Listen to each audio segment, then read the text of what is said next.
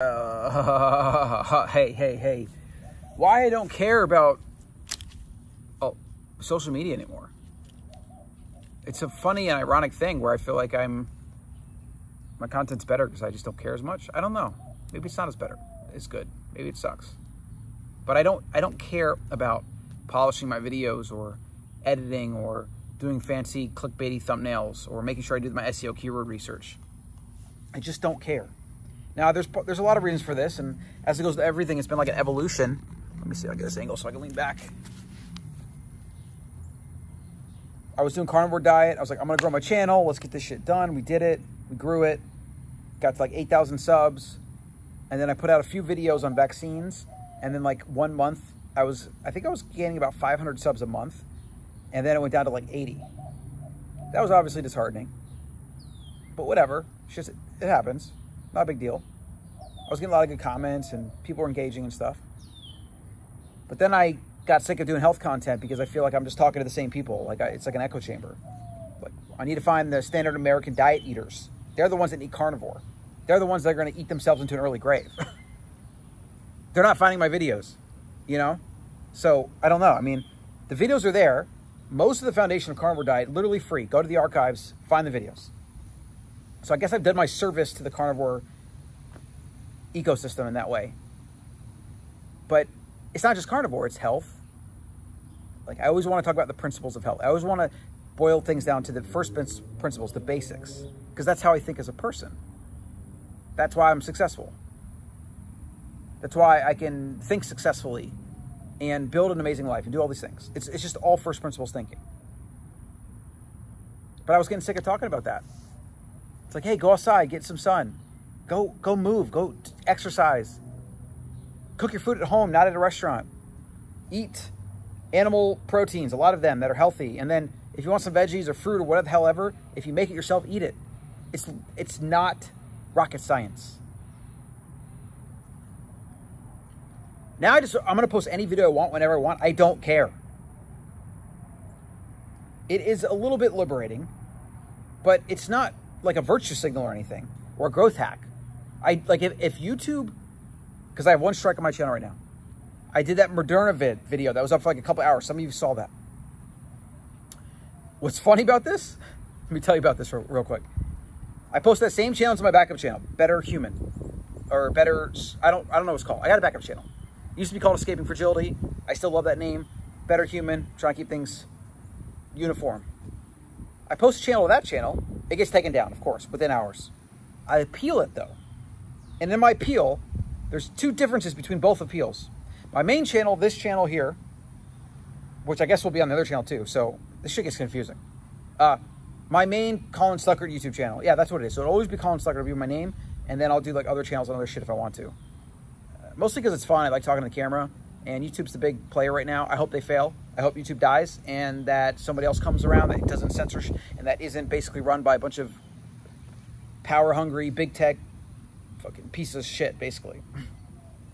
Uh, on the main channel, my first appeal was all I'm doing in this video, which is about Moderna, is citing publicly available information about a public company. That's it. Just reading off facts.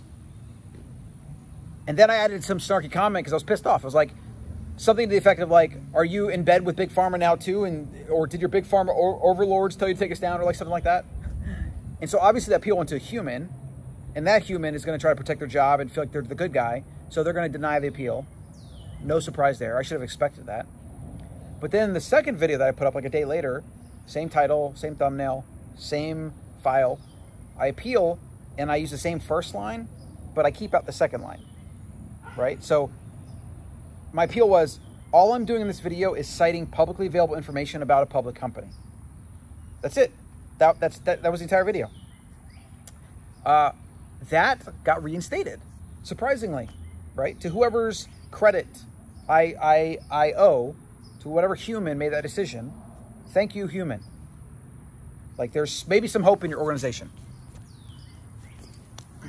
But I've also been thinking about social media in general, Instagram, this, whatever. Yeah, like these tools can be amazing for helping educate people and reaching people and interacting with people. I've met a lot of amazing people on social media. I've had a lot of amazing podcasts and guests on and met people in real life through it. I mean, I have I have long term relationships that I will probably cultivate for the rest of my life through social media, right? Like, there's value there. And funny enough, I hated Twitter for years and I was very anti Twitter. Now I love Twitter, but I'm using it in a very certain way. So I think if I would have gotten Twitter five years ago or 10 years ago, it would have been very bad. So I'm glad I kind of came to Twitter in a very roundabout way now that I have a mitigation strategy for using it. I don't follow politics. Like, I don't, I try to not get into flame wars or anything like that. I, I tend to like not reply to tweets. So I'll, I'll reply to something and then just move on. Sometimes it gets sucked into a discussion. Usually not a good idea, but I have a pretty good strategy for that. Instagram, for a while I wanted to grow it and I got a little bit. I got like 14,000 subs or whatever. Uh, and I've just become more and more, I feel like I'm, it's, it's fake. I feel like I'm a dancing monkey right? Where if I try to, if I post something, I got to consider how it's going to perform in the feed, what people like, what they don't like. I want more likes, comments, whatever. I literally don't give a shit anymore, and I'm glad. I post whatever I want whenever I want. Social media, things like YouTube, Instagram, uh, I'm using these because I want to say something, and that's it. Like, I don't need to do anything beyond that. I say something, I post it, I don't care about anything else. I used to have the perfectionist perspective where I wanted to like edit this video perfectly, do perfect sound, light, all this. I literally now just hit record and I and I post it. What's funny is like I actually enjoy social media more now that I don't care as much. It's like strange dichotomy. I think dichotomy is the word. I keep wanting to use that word. I only, if you ask me to define dichotomy, I couldn't actually define the word, but I think I'm using it the right way. Maybe it's a paradox. Maybe it's dichotomy. Maybe those are the same thing, depending on the, the context. I don't fucking know, whatever. It's more fun to do social media when you don't care. So that's what this is now for me. Recording a video right now, which I enjoy. It's like a form of therapy. It's a form of consolidating my thoughts, becoming a better speaker. I'm working on my speech. I'm working on not saying like and um and filler words. I'm working on pausing. So I want to do this. And then one day I'll do TED Talk or just any talk, whatever. So that's why if you've been following the channel for a while, I just like it's been sporadic and whatever. And yeah, that's why. Uh, I hope you stick around though, because I think you'll still get value out of what I have to say. I have a lot to say. And generally, what I have to say is based on years of experience. But also, it's like, like, who cares, you know? Like, I'm not a guru. And even if every single point I make in a video is perfect, or it's only 50% perfect, if only something in a video is 10% right, and you get value out of 10%, then ignore the 90%. Who cares? Yeah, I don't, I don't even know what, like, what I'm trying to prove there, but I will keep putting out videos they will be on whatever I want, in whatever style I want. I'll probably curse at times, whereas before I was trying to not do that. I don't care anymore, right? I'm being my true, real self. And I actually enjoy, you know, those of you that are like the audience and follow along. I mean, you're not like the audience. I enjoy the audience that follows along and that comments, and I see the same names popping up in the comments and things like that. I enjoy you. I appreciate you. So even right there, I'm not going to edit out that sentence, even though it's like grammatically shit. when I really enjoy making these videos and doing this is actually when I can just talk with you like this right now, like just be real. So that's what I'm going to do. I'm, I'm, I'm, in my backyard in Austin, Texas. Uh, the sun came out today. It's beautiful. Was at the park. Got my first early morning work session in. Did a podcast for the Better Man. That's coming out soon. Better Man podcast you can get on the newsletter and the pre-launch list over at more, uh, morebettermen.com.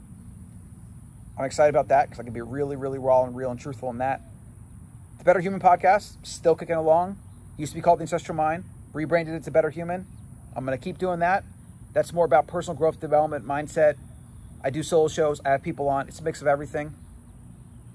You can get that over Colin.coach. And if there's anything that I can record about or talk about or you're interested in, aside from like politics or current current stuff. I, I pretty much only do those if I really feel the need to do it. And I try to, you know, not feel the need to do those ever, if at all possible. But uh, yeah, thank you for whoever voted for the current administration. Thank you for that. The, the you know the forty percent cap gains are going for right now. Like it's just unbelievable. People just don't even they, they, they don't even know. But you know what? See, I got to resist it. I don't want to go there. I don't want to talk about how, how, rising raising capital gains or just raising taxes in general actually results in, in less net tax revenue. We've seen it in states, cities, federally. We have the data. We know this. People move elsewhere. They move their capital somewhere else. They do something else. They go to different places. It's the free market. That's why America's had an advantage because they lowered cap gains to pretty much one of the lowest places on the planet. And so money flows in. When you rise cap gains, what happens? Money flows out. You want to give China the edge? Raise cap gains. You want to give any other country on the planet the edge? Rise, raise cap gains. I'm telling you, the people that are in government and politics, and then the people that blindly just like gobble up their bullshit, they are all, uh, what's the word? Not in touch with reality, no understanding whatsoever of history, of free markets, of economics. They're in a self-created echo chamber like bubble of stupidity. Pretty much. That's what it is. Yep. And every time I found myself, I mean, in 2020 I was, I fell into politics a little bit. I was paying too much attention. And I popped my own bubble because I realized that it was toxic, a waste of time, wasn't helping me, helping me pursue my mission. I got out, right? And I understand if you're in there. I understand if you're in there now and you're watching the screen and you feel like you got to yell at the screen and be mad because either you disagree with what they're saying and you and you use it as a way to like reinforce your identity as counter to them or if you're joining them and then you're whoever they're yelling at you're yelling at the same person if that makes any sense either way you are in a bubble of stupidity and you need to get out of it. It doesn't mean you're a stupid person. You're actually probably a smart person, but you need to get out of that bubble of stupidity, right? Which is a self-imposed bubble, right? That's, I know I'm like rambling. Now we're 12 minutes, but whatever. I do what I want. So I did a post last week about stupid people. Now, I genuinely believe that 99% of humanity has the intellect, the ability, genetically, to not be stupid.